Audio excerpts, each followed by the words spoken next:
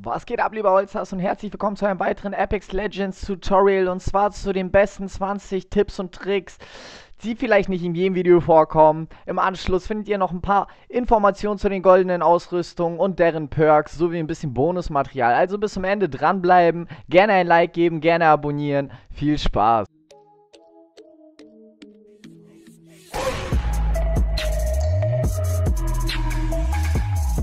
Starten wir gleich mal mit dem Absprung. Und zwar ist es ein fataler Fehler, straight nach unten zu gucken oder einfach geradeaus hinweg zu gleiten. Man mag es nicht glauben, doch ein Reddit-User hat eine kleine Info bekannt gegeben, wie das Ganze richtig funktioniert. Und zwar ist es wichtig, auf eine Geschwindigkeit von ungefähr 145 zu kommen. Die seht ihr links immer eingeblendet. Dann könnt ihr wieder gleiten auf 130, 35. Dann ist es aber wieder wichtig, dass ihr wieder nach unten, also ihr müsst es das in Form einer Treppe vorstellen. Das Ganze ist hier oben eingeblendet. Ähm, und diese Bewegung oder diesen Ablauf immer und immer wiederholen. Und so schafft ihr es beispielsweise, wie in diesem Beispiel, ähm, als erstes gerade an wichtigen Positionen wie einer High-Loot-Zone zu landen und euch äh, die Waffen aussuchen zu können, bevor ihr auf Gegnerkontakt stößt gerade am Anfang ist es sehr wichtig, sehr schnell zu sein oder sogar der schnellste, denn man muss im Endeffekt schneller als der Gegner sein und das heißt, guckt euch gar nicht erst die Gegenstände an, die auf dem Boden liegen, einfach drauf zurennen und die Aufheben-Taste spammen. In dem Fall der Playstation wäre es das Viereck, einfach die ganze Zeit dauerhaft spammen. Wie im Beispiel jetzt beispielsweise bei der Lootbox, einfach öffnen, alles aufheben und weiter. Sortieren kann man am Ende immer noch. Ziemlich wichtige Funktion wird auch oft erklärt, ist gerade das Pingen und ihr könnt so ziemlich alles pingen. Beispielsweise in eurem Inventar könnt ihr einzelne auf Aufsätze, die euch fehlen, äh, pingen. Jetzt beispielsweise ein Griff für ein Sturmgewehr. Ihr könnt aber auch Munition pingen, indem ihr einfach die Waffe anklingt und dann R1 auf der Playstation drückt. Dann wird äh, angepinkt an die Teammates. Du suche nach leichter Munition. Ja, seht ihr oben rechts immer. Was, by the way, auch nicht ganz unwichtig ist, viele Sachen lassen sich stacken, also aufeinanderlegen. Wie in diesem Fall sieht man das an der Munition, könnte man je vier Packs mitnehmen, bei den Granaten beispielsweise je zwei Stück mitnehmen, ohne einen weiteren Inventarplatz zu verbrauchen, ja. Übrigens könnt ihr auf euer Inventar auch zugreifen, während ihr in Bewegung seid. Das heißt, ihr müsst einfach nur in Bewegung bleiben und währenddessen das Inventar öffnen. Ihr könnt dann aber nicht mehr variieren, in welche Richtung ihr geht. Habt aber die Möglichkeit, während ihr in eine Richtung lauft, unnötige Sachen einfach mal zu droppen, ohne stehen zu bleiben. Was auch nicht ganz unwichtig ist, ihr könnt in dem Spiel nahezu überall hochklettern. Dazu einfach die Sprungtaste gedrückt halten und nach vorne schauen und so könnt ihr ganz eben mal easy auf Häuser klettern. Was auch sehr actionreich gemacht ist, ihr könnt in diesem Spiel Türen eintreten. Springen und die Nahkampftaste drücken. Was viele aber auch nicht wissen, ist, dass man Türen mit Granaten aufsprengen kann. Beispielsweise an Gebäuden, wo sich welche drin verschanzt haben und keine Fenster enthalten sind, könnt ihr die Türen auch ganz einfach mit Granaten wegsprengen, ohne euch selber in Gefahr zu begeben by the way, ihr könnt eure Gegner sehr krass triggern, selbst wenn ihr genockt seid. Denn ihr könnt Türen öffnen und schließen in diesem Zustand. Und ähm, ich habe es selbst erlebt, es ist wirklich sehr ätzend und sehr nervig. Und daher leistet eurem Team auch dann Hilfestellung, wenn ihr genockt seid. Triggert die Gegner, schließt die Türen vor ihren Nasen. Ich habe hier im Anschluss ein Paradebeispiel dafür, wie krass ätzend das sein kann. Oh, hinter mir. Okay, krass.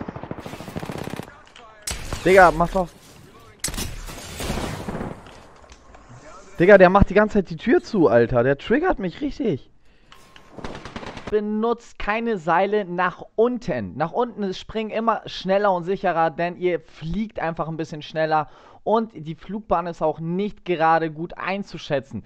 Rutscht ihr auf einem Seil nach unten, seid ihr meistens sehr, sehr leichte Beute.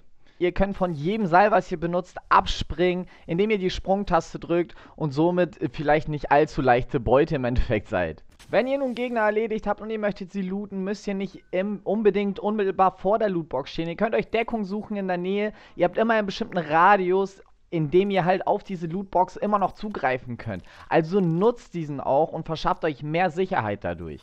Auf diese kleinen Loot-Drohnen äh, müsst ihr Acht geben, denn diese versprechen euch in den meisten Fällen auf jeden Fall auch High-Loot. Diese findet ihr ganz selten mal in Gebäuden stehen und könnt ihr entweder zerschießen oder auch mit einem Nahkampfangriff zerschlagen.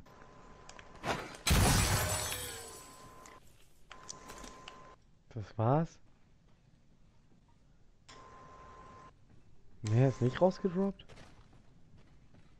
Falls ihr es in den Settings nicht ausgestellt habt, dann habt ihr immer eine Begleiterstimme.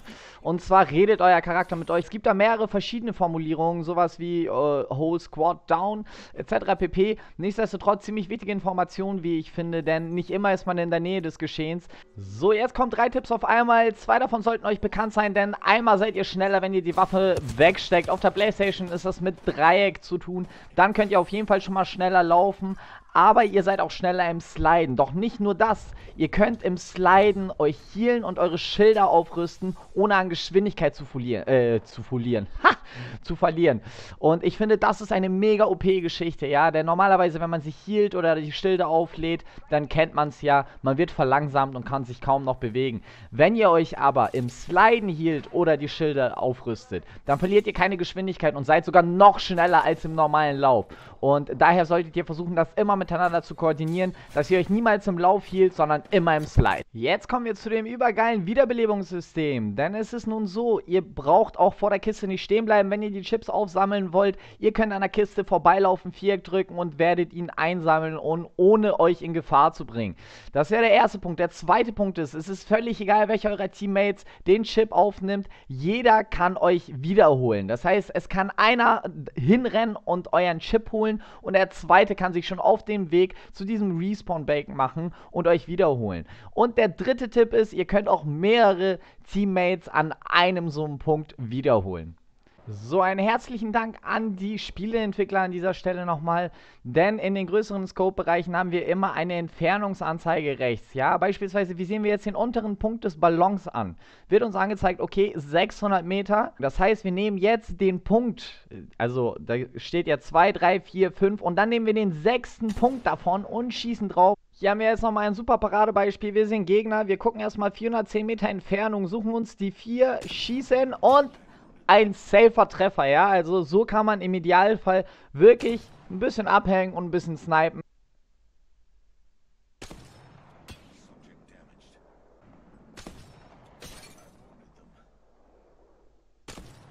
Auch wenn es vielleicht nicht ganz so einfach ist, im Endeffekt funktioniert das Ganze aber safe. Abschließend habe ich noch ein paar Tipps für euch und zwar, ihr müsst euren Legend auf jeden Fall kennen, ja. Also das heißt, Ihr müsst rausfinden, mit wem könnt ihr am besten spielen. Ihr müsst aber auch seine Funktion kennen und wissen, sie einzusetzen. Jetzt Bau, äh, Bau, Bau. Beispielsweise der Kautik. Ja, wie setze ich ihn im Idealfall ein? Das heißt, egal wo ich mit meinen Mates bin, um meinen Bereich zu sichern, droppe ich immer diese Gasbomben mit Neox-Gas und ähm, bin damit schon mal auf der safen Seite. Oder sehe ich, dass zwei, drei Gegner in äh, unmittelbarer Nähe zu uns sind, ja?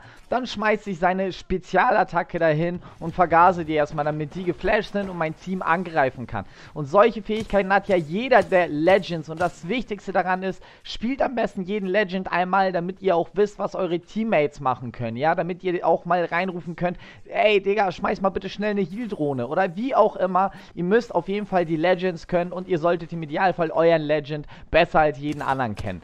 Ja, ähm, auch ganz wichtig ist, ihr müsst das Gunplay üben. Das heißt, es bringt euch nichts, wenn ihr jetzt bis zur letzten Runde äh, oder bis zum Champion euch irgendwo dahin campt und irgendwie wartet, dass ihr gewinnt und dann kommt auf einmal ein Team und ihr habt halt gar keine Ahnung vom Gunplay und ja, habt verloren. Es ist also dementsprechend ganz wichtig, dass ihr anfangs einfach in Gunfights rangeht. Also ihr müsst da spawnen, wo am meisten abgeht, um das Ganze zu üben zu den Perks der goldenen Ausrüstungen. Und zwar fangen wir mit dem Helm an. Äh, dieser bewirkt im Grunde, dass äh, eure Fähigkeitsaufladung schneller vorankommt. Denn jede Fähigkeit hat einen Cooldown-Timer, nachdem sie benutzt wurde oder auch vor der Erstbenutzung. Hat man diesen goldenen Helm nun auf, dann reduziert sich die Zeit. Die Rüstung in Gold ähm, ist im Grunde sehr cool eigentlich. Man hat einen Gunfight mit jemandem, äh, der ist genockt, man finisht diese Person nun, automatisch wird das eigene Schild, was wahrscheinlich durch diesen Gunfight äh, beeinträchtigt wurde, repariert. Das heißt, es repariert von alleine das Schild von einem selber, aber nur, wenn man seinen Gegner finisht. Ja, also bei jedem Finish, was man macht, wird die Rüstung repariert. Dann gibt es den Rucksack in Gold. Dieser bewirkt, dass man sich selber 50% schneller heilen kann. Und äh, zu guter Letzt äh, gibt es das K.O.-Schild in Gold und das ist in meinen Augen mein Favorit, aber auch genauso selten zu finden. Denn mit dem K.O.-Schild in Gold kann man sich selber wiederbeleben, solange man noch genockt ist. Und ähm, das ist schon sehr, sehr krass OP. Abschließend kommen wir nochmal zu ein paar grundlegenden Informationen. Bei Apex Legends gibt es maximal 100 Level bisher. Ich weiß nicht, ob es mal gepatcht wird. Bis jetzt kann man Maximum Level 100 erreichen. In diesen 100 Leveln kann man höchstens 45 Apex Legends Packs erreichen äh, oder bekommen. Ähm, ab Level 20 bekommt man nur noch jedes zweite Level ein Pack und höchstwahrscheinlich gibt es ab Level 50 dann noch einen kleinen Buff. Ähm, dann gibt es die wahrscheinlich nur noch alle 5 Level oder so. Ich habe es mir jetzt noch nicht genau ausgerechnet. Ihr könnt ja mal in die Kommentare schreiben, wie das Ganze vielleicht aussehen könnte. Ähm, nichtsdestotrotz 45 Packs ist Maximum und Level 100 ist bisher Maximum. Möchtet ihr einen eurer äh, weiteren Legenden freischalten, und zwar Kaustik oder Mirage, ist es ja nun so, dass man hier im Store unter Legenden schaut und man muss 12.000 von diesen wie äh, Legend, äh, ja, Legendentoken verdienen. Ähm, 12.000 Token erreicht man genau in den ersten 22 Leveln. Das heißt, sobald man Level 22 erreicht hat, hat man genau 12.000 Legendentoken erreicht, um sich einen der Legenden freizuschalten. Ähm, ja, logischerweise höchstwahrscheinlich äh, die nächsten 12.000 äh, Legenden-Token erreicht man dann bei Level 44. Ähm, äh, zusätzlich, was ich immer noch sehr gerne äh, mit dranhänge, sind die Herstellungsmetalle. Ich finde, es ist super geil gelöst in dem Spiel, denn ihr könnt innerhalb dieser Packs Herstellungsmetalle erbeuten, mit denen ihr wiederum fast alle Waffenskins und fast alle Legenden-Skins freischalten könnt. Ne, also ihr könnt jetzt beispielsweise hier auf den Kaustik gehen, dann äh, sehr geil ist zum Beispiel hier der, äh, der, wo war das? Stein des Philosophen, sehr cool, sieht er auf jeden Fall aus, drückt auf Viereck erhalten und jetzt hättet ihr die Möglichkeit mit 1200 von diesen Herstellungstokens diesen Skin freizuschalten. Dasselbe gilt auch für Waffen. Ähm, sehr cool ist auch, dass man Abzeichen selber setzen kann, also man kann hier die Plaketten ändern, die dann hier angezeigt werden. Bis zu drei Stück kann man hinzufügen, je nachdem, äh, was man gerade freigeschaltet oder erspielt hat. Gewinne in einem vollen fertigen Squad ein Spiel beispielsweise, könnten wir jetzt setzen. Möchte man jetzt eine zweite setzen, kann man hier jetzt so machen beispielsweise. Das ist umsonst. Möchtet ihr aber Fährtenleser haben, das sind hier diese Statistiken, die überall angezeigt werden, müsst ihr diese ebenfalls mit Herstellungsmetallen freischalten. 30 Stück kostet so eine Freischaltung, ähm, müsst ihr natürlich für jeden Charakter dann nochmal einzeln wiederholen. Ähm, ihr habt auch die Möglichkeit, eure Intros hier zu verändern. Ähm, passiert immer dann, wenn ein Squad vorgestellt wird oder hier bei jedem Kill. Was noch sehr cool ist, ihr könnt euren Finisher-Move verändern. Auch das wird ganz einfach mit den Herstellungsmetallen gemacht, die ihr wirklich aus, anhand der kostenlosen Packs, die ihr im Laufe der Zeit bekommt, also diese 45 Packs, erbeuten könnt. Also sehr, sehr, sehr cool. Chapeau. Äh, ich finde dieses Spiel mega, mega gut gemacht und ich hoffe, ihr seht das ähnlich. Ich hoffe, euch hat das Tutorial auch gefallen. Ich würde gerne demnächst ein paar Legend-Tutorials bringen, so wie ein Tactic-Tutorial. Ähm, also nicht so in, im Sinne von Tipps und Tricks, sondern eher im Sinne von Tactics. Wie hat man sich in einem Gunfight zu verhalten? Ähm, wie hat man sich im Team zu verhalten? Wo fängt man am besten an, wo geht man am besten hin, ähm, wie entscheidet man situationsabhängig. Wenn ihr Bock darauf habt, schreibt es gerne in die Kommentare, dann werde ich so ein Tutorial gerne verwirklichen. Ebenso würde ich gerne zu jeder Legenden, äh, zu jeder Legende ein eigenes Tutorial starten um deren Moves und Möglichkeiten und vielleicht auch da den einen oder anderen kleinen Tipp und Trick nahezulegen. Ähm, wie gesagt, schreibt das Ganze gerne in die Kommentare. Künftig sehen wir uns bestimmt in dem einen oder anderen Livestream. Ich hoffe es jedenfalls sehr. Falls ihr mich abonniert habt, gebt auch gerne ein Like nach oben da und bis zum nächsten Mal.